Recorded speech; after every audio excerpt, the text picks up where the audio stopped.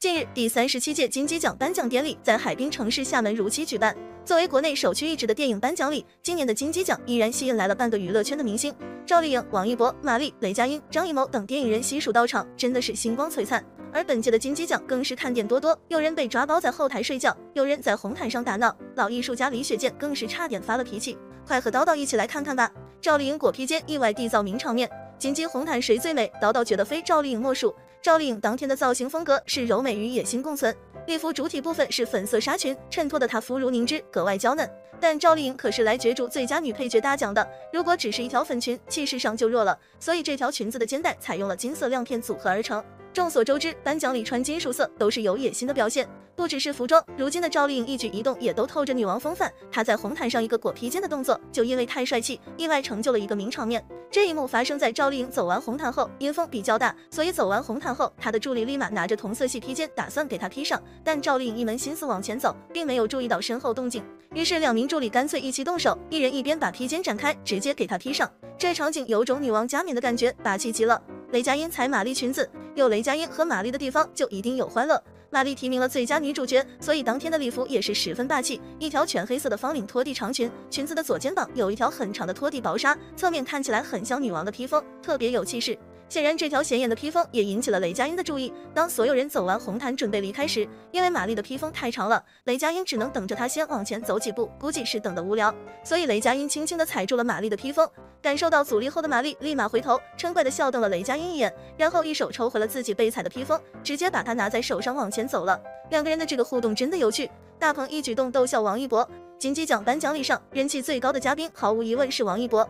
当晚，他身穿黑色西服搭配领结登场，领口的银质胸针非常耀眼。和他一起走红毯的还有大鹏，两人分别凭借电影《热烈》入围了金鸡奖最佳男演员和最佳导演奖。剧组一起走完红毯后，大鹏却让大家先走，因为他还要独自在红毯上做一个专属于他的动作，就是在红毯上虚空跨栏。显然大家都知道他要干什么。王一博在下红毯时回头看了大鹏一眼，忍不住因为这个显眼包笑了。李雪健怒斥工作人员不要特殊待遇，还记得葛优曾打趣保镖明明没人还硬要做出姿势保护他的趣闻吗？没想到这一幕在金鸡奖上重现了，只不过这次的主角是李雪健。在金鸡奖的后台，有位工作人员一直张开双臂跟在李雪健身边，把靠近他的人都阻挡在外。一向亲民的李雪健显然不喜欢这种方式，他先是停下来要求该工作人员不要跟着他，还做了拜托的动作，但是这名工作人员并没有听进去，依然用手护着他。最后李雪健有点着急了，再次停下来要求他不要跟着自己。而李雪健自己的工作人员显然更熟悉老爷子的脾气，也在劝说挽回工作人员不必多此一举。该工作人员这才作罢，李雪健也终于恢复了笑容。不过，相比于红毯的状况百出，内场的这一幕，傲慢势力、江湖地位更是在他的身上体现的淋漓尽致。出名贾玲、沈腾缺席，林保怡落寞，影后岳红笑不出来。金鸡奖这一夜，有人咖位飞升，无人在意的角落，却似乎又多了几位实力口碑相当的演员黯然神伤。精彩，实在是精彩。沈腾凭一己之力，《飞驰人生二》带流量突出重围，抓娃娃用暑期档带动一整年 KPI，两部电影直冲七十亿票房。回报就是次次被提名，却回回都失之交臂。对于这位电影主演票房第一的喜剧一哥来说，倒好像变成了羞辱。老牌港星林保怡五十九岁重新出山，原本就不是港娱盛行时代的顶流，就算捆绑佘诗曼炒冷饭，也不愿做流量的嫁衣。只有看过《白日之下》的观众，才懂戏里林保怡杀疯了一般的演技，与看着一届新影帝诞生的落寞，这之间的差距到底有多可笑？在名利场之下，就算是星二代，奋斗了几十年，也还是得靠好友的推荐，才终于成为为数不多的众望所归那一位。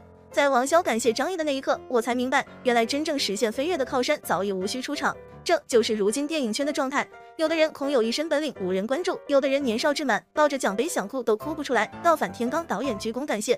当然，对于演员来说，他们也只不过是有可能被赋予千里之称的马匹而已。在影视剧行业，导演才是不常见的伯乐。这一届金鸡奖有两位导演才是整场活动的最大咖，张艺谋和陈凯歌。看了两个人的前后发言，只能说没有对比就没有伤害。作为混迹娱乐圈几十年的老油条，凯歌导演在镜头前自然也会保持体面。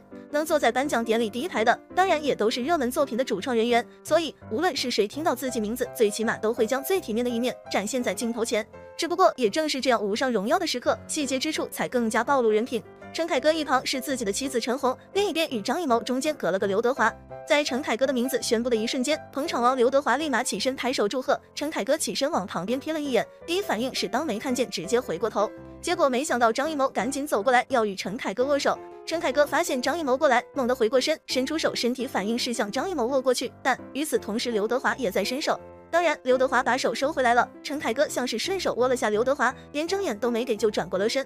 显然，如果张艺谋没有来到身边，陈凯歌根本就不在乎刘德华是否站起身来恭贺。最后，陈凯歌抱住了妻子陈红，场面一度非常温暖。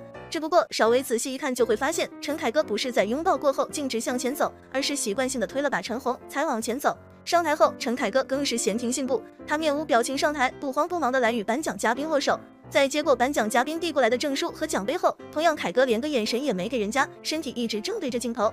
颁奖嘉宾递过去东西，尴尬不已。陈凯歌也只顾着欣赏自己手里的荣誉以及眼前众人送上的掌声。说实话，真的有点没礼貌。或许他的地位是两位颁奖嘉宾无法比的，但人家好歹给你递过去了荣誉，道声谢，面对镜头和张颖也是正常的吧。然而，没有对比就没有伤害。在志愿军的最佳导演奖和评委会特别奖颁完，便是压轴的最佳故事片。当第二十条的影片名响起，张艺谋嘴角咧开，我都不自觉的笑了。当然，每位导演的风格不同，但行为举止之间透露出来的谦逊背后，绝对蕴藏着导演对观众与演员的尊重。马丽在身边想要拥抱，随后张艺谋来握赵丽颖的手，丽颖的开心也溢于言表。这一幕与其他人没什么区别，可老谋子下意识弯下的腰，真的让人无法不动容。他也只与合作电影的两位演员互动了一下，其他没有握手。可同时，老谋子是用直视点头来表达大家对自己的祝贺。要问区别到底是什么，其实很直观，与涌上来的人握手，主导权永远是自己；而站在原地向大家稍稍鞠躬点头，是将 C 位还给了在座的各位。同样是嘉宾主动走过来与导演握手，张艺谋看到嘉宾迎面而来，隔着八千里都要先弯腰把手伸过去。领奖时也是一样的。这项奖杯不是理所当然递过去的，而是张艺谋再三感谢，郑重其事捧在手上的。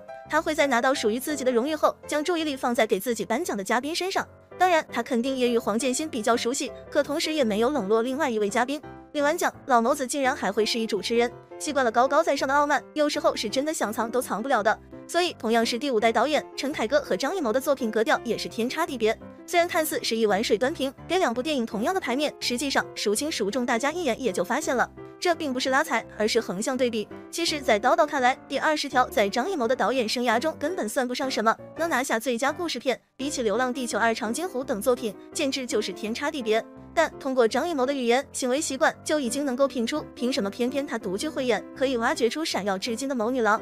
客观来讲，陈凯歌的地位也已经展现的淋漓尽致了。一部志愿军雄兵出击，燃尽经费耗时三年打造的第一部铺天盖地的宣传，结果最后吐槽满天飞。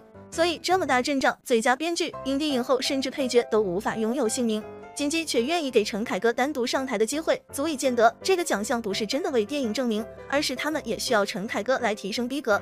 只不过半辈子投身于电影行业，还只能贡献出如此一部作品，即使在黄金档一家独大成绩，也不忍直视。这种水平上台领奖，真的不会觉得搞笑吗？